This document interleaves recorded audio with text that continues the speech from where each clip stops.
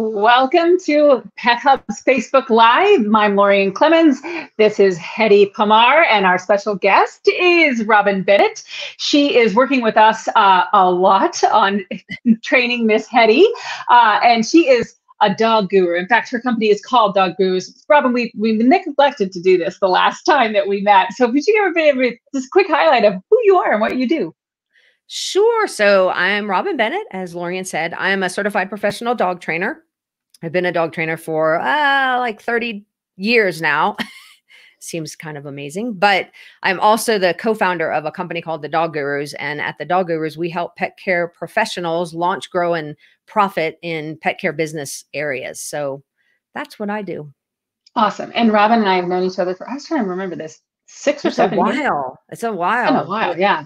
Yeah. And, uh, yeah, definitely. And Robin has actually been with us uh, and our pups, uh, even remotely, because we, we, you have actually never done any training with my dogs in person, but you've helped us along the way uh, with quite a few uh, challenges that we had. And then when we brought Hedy into our home uh, just before Christmas, uh, because that was a good idea with the toddler, um, we uh, decided we were going to enlist uh, Robin's help and actually follow her raising your puppy 12 week series. And we're getting close because Hedy's now five months old and I was I was admitting to Robin before show we're, we're actually about two weeks behind, and that's just because uh, toddler uh, is also in the house. I have a 20 month old as well, but we are um, making a lot of progress. So we have about six weeks left to do rather than just four weeks that we technically should have left. But anyway, so let's check in. We've got a lot to check in about, and we actually have um, some questions that came in from uh, one of our our viewers, um, and we'll get to that later. But let's check in first and just kind of do like an update on Hedy uh, and how she's doing. So um, she's asleep right now. We actually, um, I took the op. Well, not asleep, but she's just groggy. We took the opportunity. She's very right groggy. Oh, oh yeah. Well, we took the opportunity right before uh, this to do a quick little training session because I very rarely get time where Sagan, my son, is not uh, wanting to be involved, and he loves, loves, loves being involved with giving treats to Hedy when she does the right things, and he certainly loves going ah ah when she doesn't do something. um, and he's he's very he's always on her. He's watching her because he's he obviously watches mommy and daddy like a hawk.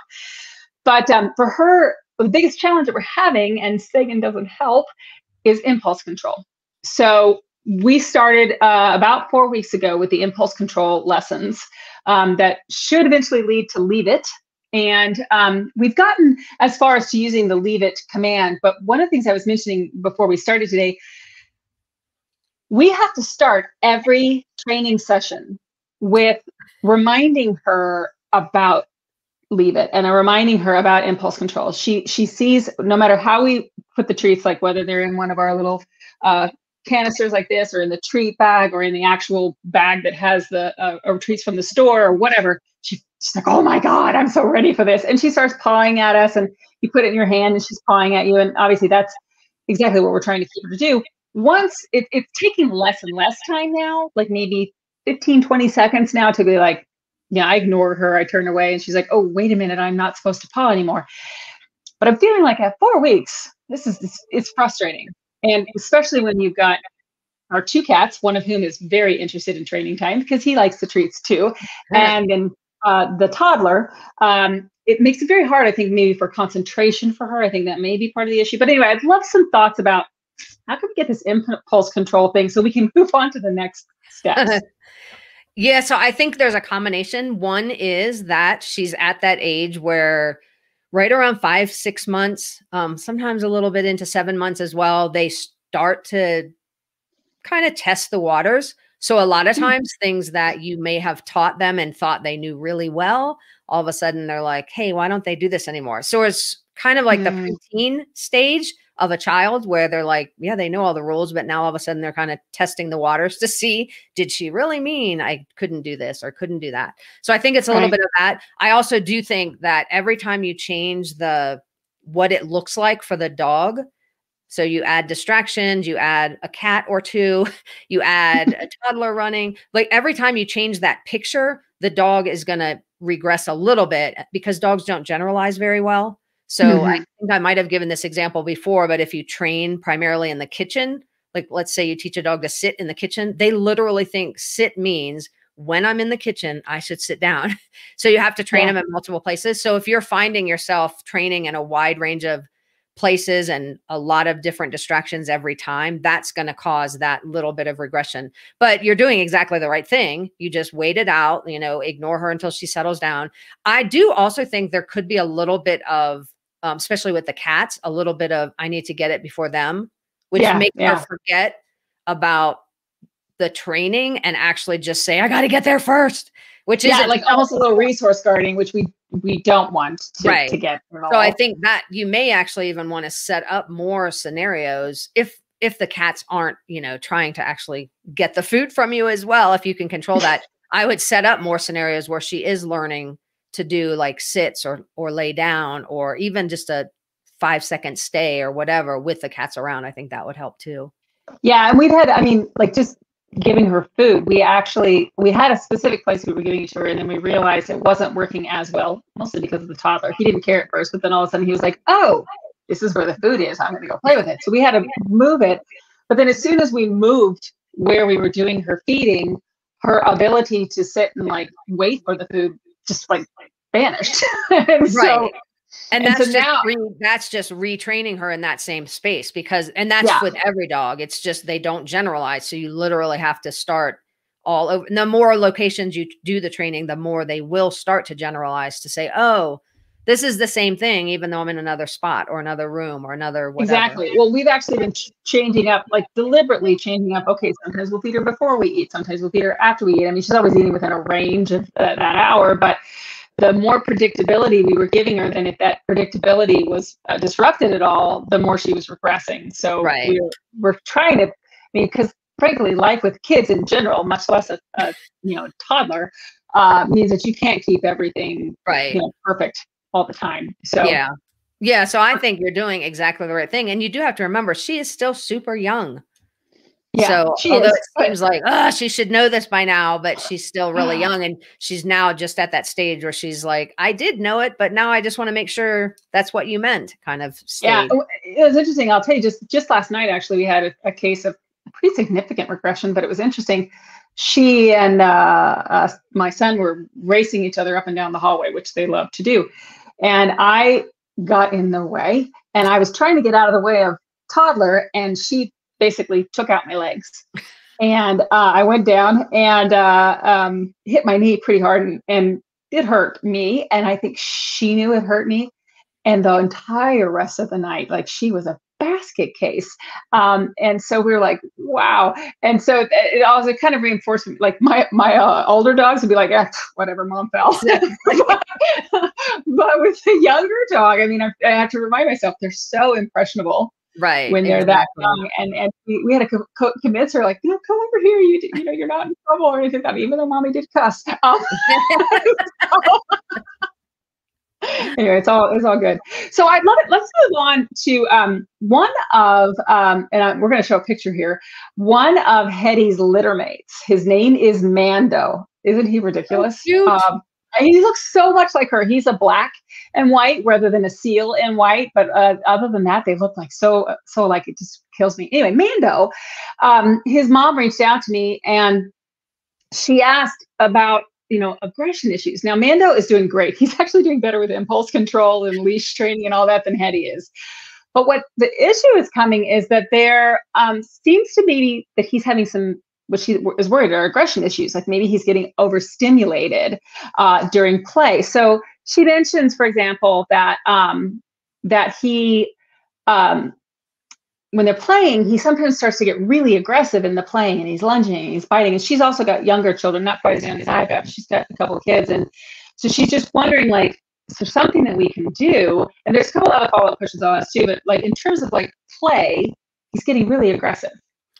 Yeah, so actually that's a great point because this is fairly common in a lot of puppies and with any dog overstimulation what we call in the training world um, arousal in a dog that's that high energy like whoa i want to get going it can be sort of a fun thing but that is linked to aggression so it's the mm-hmm. same chemistry going on inside the dog that is why and the example i always give because this happens in humans too the example i always give is that I, I use hockey um, at hockey games when you get the fans get all revved up and then next yeah. thing you know a fight breaks out in the stand same thing so mm-hmm. the secret to that and the same thing if you have kids on the playground you'll know and you'll see this too when uh, your toddler gets a little older you'll know when they start to get to a turn and probably this happens now when he starts to get to a certain level you're like we need to stop this is going yeah. to not end well um, it's the yeah. same thing with puppies so the biggest secret to that is trying not to let that arousal level get too high. So when you are playing, I like to do lots of breaks.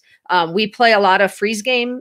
And I think we talked about this in one of the calls that we were on. I can't remember, but um, freeze tag where you get the kids and the dogs to run around, then you say freeze. Kids already know if they've played the game before, they have to stop running and freeze. And then you hmm. get the dog to sit and you might need a treat or something to help them do that. But you're basically pausing the action to give the dog a few seconds to settle down so that it doesn't spill over into that like out of control over arousal situation. Yeah, and we've actually found that with with Hedy, I wouldn't say it's aggressive, but we we sometimes have to do like a quick little reset where right.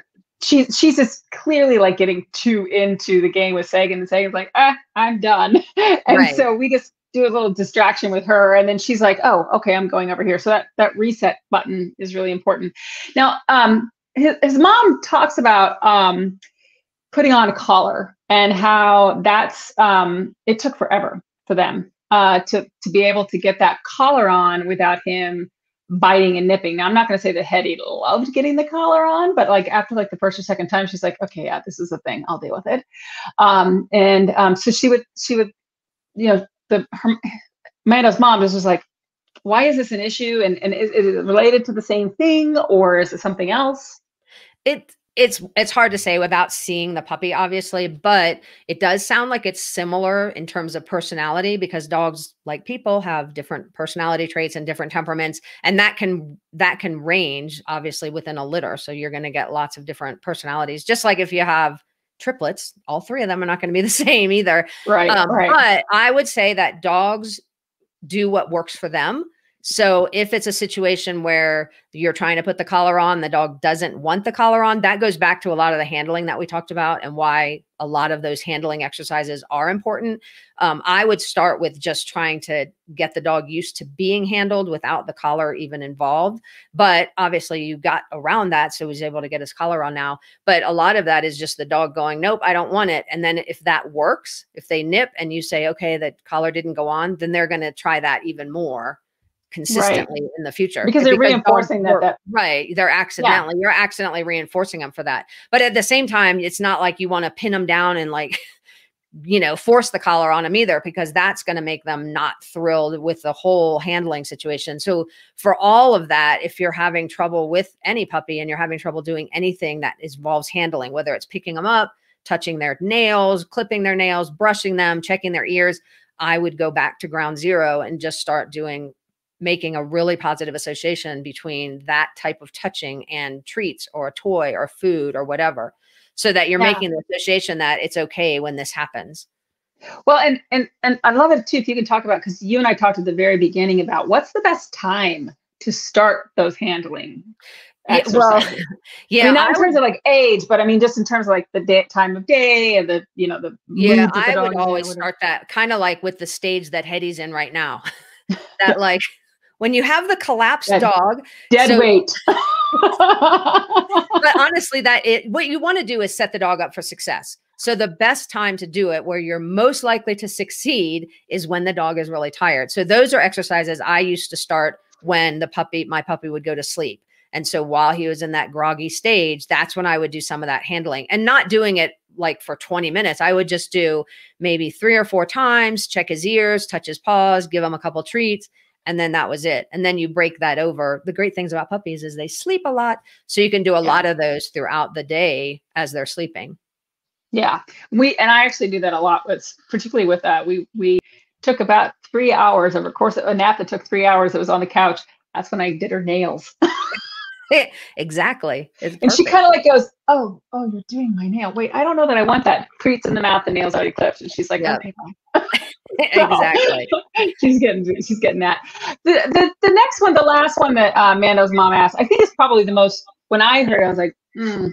because um, Penny, my Boston Terrier uh, that you helped us with a lot, um, I lovingly called her my jerk face dog um, because she was very uh, people aggressive, uh, and I had I had assumed that that came from her, uh, which her how she began her life, which was in an abusive situation.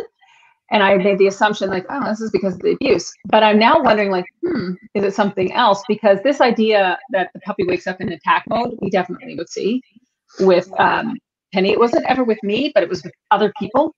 Um, and this one, uh, Mando apparently, uh, when he wakes up, he's super grouchy, and or when he's woken up, uh, he is super grouchy. And when another, when one of her older dogs uh, came up just to sniff him, uh, puppy woke up and you know they had a tussle. So thoughts on that?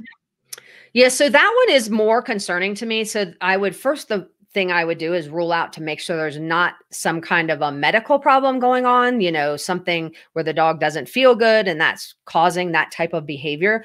And then I would try to see in a safe way if that happens all the time. Is it certain times a day? Is it if you call the dog, not that I'm saying go up and like shake the dog and wake them up, but if you if the puppy's sleeping and you call them from the other side of the room, does he wake up? Is he able to just respond and come over? If someone does go closer to him, does he do the same thing? So, or was it specific to being woken by a dog, which still isn't the solution? It's just you're trying to find out what are the parameters that would actually trigger that behavior. If it is every single time, I would definitely rule out any kind of medical condition. The second thing I would look at in terms of all of this behavior that the last three questions have kind of covered is I would look at the diet sometimes diets that have a lot of chemicals in it or a lot of ground yellow corn or a lot of um, preservatives a lot of times those can cause dogs to act a little wacky.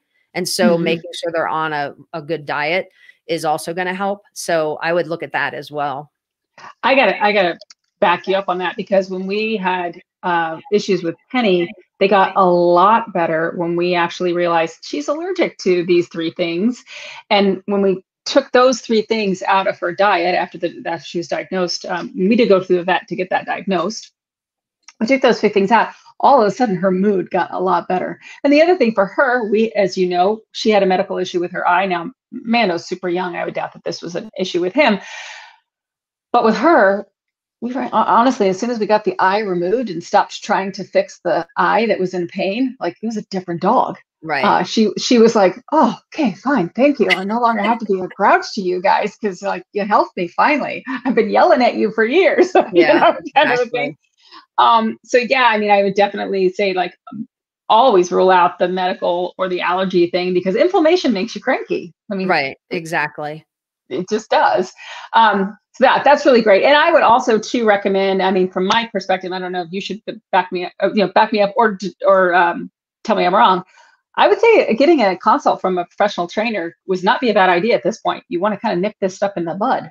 Yeah, I was actually going to say I would try to find a trainer that um, specializes in positive reinforcement because this is a situation with a puppy like that that's pretty assertive. That when you try to counter that with any kind of force, like I'm going to pin him down or I'm going to roll him over, that for these kinds of puppies tends to make them much, much worse um, mm-hmm. because they're not they're willing to fight back. So, yeah. not that I recommend that forceful training methods anyway, for a whole bunch of reasons, but for a puppy like this, it usually will make them worse. So, you want to find someone that does positive training and have them do a consult because you're right. At a young age, there's there's that there's that category of like how much of this is temperament that they were born with, but then there's also the whole nature nurture. There's also a whole lot you can do um, right. because it is a puppy that you can work on that. So yeah, and, and we got started with Penny kind of too late. Um, not too late, but we got started with Penny so late on doing some of that positive reinforcement stuff. We then had to just find mitigations that helped her right. get through situations rather than really, you know, doing that behavior modification that from the beginning that would have helped her a lot more because it was right. it was kind of a nature nurture thing with her yeah, for sure. I think exactly. Awesome. That's great. That's great feedback. Um, so I thought it, it's like for the last little portion that we have today, we have just a, a, little bit of time left. I would love if you can kind of talk to me about like So what should we be working on next? well, I was going to say when you were like lamenting that you were behind, I was going to say, well, this is why we give you over a year's access to the program because the training, I mean, although it's geared towards the puppy's first six months from the time you get them until six months of age, that really it never stops you know that whole first year you're really working with the dog. So i would really be pinpointing some of the stuff we already talk about. You already know impulse control is a big problem and probably a biggest challenge so i would keep working on that. I and the reason i say that is as humans we tend to work on what the puppy's really good at because it makes us feel good. So we're like, he can spin. I'm gonna have her spin a bunch of spins. She does awesome tricks, like awesome right. tricks. She and picks so up that, her right away. and that's what you'll end up deferring to that because let's face yeah. it, it's more fun for you. It's more fun for her. But just make sure that you're setting aside time where you're doing the impulse control exercises and really working on that. And then I would just start to look and with COVID, hopefully starting to come to an end, start thinking about, you know, are there things that she's going to be exposed to like you mm-hmm. falling, for instance, that, mm-hmm. that she hasn't been exposed to? And are there things that you need to get her out in a safe way? I know in the very beginning we talked about because of COVID, you really can't do a lot of socialization. But as things start to open up and knowing that hopefully as vaccines start to come on board with more and more people, you will be taking her more places. So just thinking about are there things you need to work on um, that she might be nervous about or scared of or just has never been exposed to that you might yeah. want to start planning on so that it's not a total shock the first time she goes out in for real when, for real out there. Well, and I'm excited too. She's now officially up to date on all of her vaccinations. So we are just starting to now venture out past our little, we've had a little tiny bubble that we've right. been doing leash work on and stuff. So I'm excited. Like we're going to get her out on the trail this weekend, you know, we're yeah. going to do a short little hike but um, you know, more than just up and down our hill in the backyard, like actually get her out there. Um, yeah. So as you start doing that, then start to watch. Is there, you know, mm-hmm. if people approach, does she get nervous? Or if dogs are passing her, does she get nervous? And then that'll give you ideas of things that you want to continue working on as she grows up. Yeah. I've been thrilled though, even with COVID. Um, we didn't get a full hundred. I think we got to 65 or 70 that's great uh, though people yeah and uh, we've had a couple people just recently coming over for different you know repair work or whatever she's a delight with strangers and so which is so different than cujo penny uh, who would basically rip your face off if you came into her house and she didn't tell you she could and so uh, yeah hedy is just like hi, welcome. Here's the here's the china. Here's Mama I keep jewelry. Welcome oh, to our awesome. home oh, that's yeah. great. She won't be at all uh, a good uh, watchdog. Not the watchdog. not at all. Not at all. While I've got you on, I want to totally radically, and just for like the last three minutes, we are doing some investigations right now on senior dogs because we've been so focused right now on puppies, puppies, puppies, puppies. And we're getting ready to do some content about senior dogs. I would love it if you can give, I am totally putting you on the spot, I know but like if you can give us just a couple of your thoughts about you know best ways to either training with uh, senior dogs or, or best you know toys and tools interactive things with senior dogs. You know those dogs that maybe getting a little creaky and they're not one to go rough, rough and tough like yeah you know the, the number one thing i think with senior dogs are like low level walks obviously. But really the number one thing i recommend is anything having to do with nose work any type oh. of scent activity so it can be as simple as throwing some kibble in the backyard and teaching them to go search for the kibble or using the snuffle mats or some of the puzzle toys are good for the senior dogs but some of them don't have the patience to to mm-hmm. get some of the food out and they don't always have the dexterity to hold the toy and get the food out but nose work like their noses work great still and that's yeah. one of the things we've we've seen that in a lot of the daycares that we work with that are starting to see older dogs and coming to daycare and obviously they do not want to be with the you know the, the hoodlum cra- crowd of yeah. teenage dogs they just aren't having fun there so they really but they thrive when you give them little courses of trying to find treats in just hidden places or hide them in toys or whatever but yeah anything to do with nose work can you talk a little bit about snuffle mats? Because I just discovered snuffle mats, and I bet you a lot of our uh, people oh, watching right now are like, "What is that?" Mats are awesome. So snuffle mats, I always say, and this dates me, is basically like a shag rug.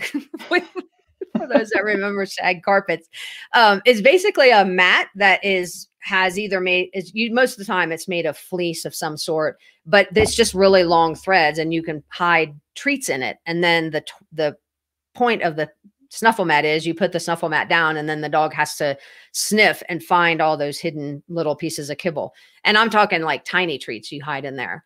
And yeah, they yeah. I thought when I first saw it, I thought there's no way the dog's just going to pick it up and like throw it around and all the food will fall out, which I have seen a few dogs do that. But most of the time, the dogs actually will sniff and it's working their brain as opposed to just giving them a handful of food. It actually works their brain. So they have to find those treats.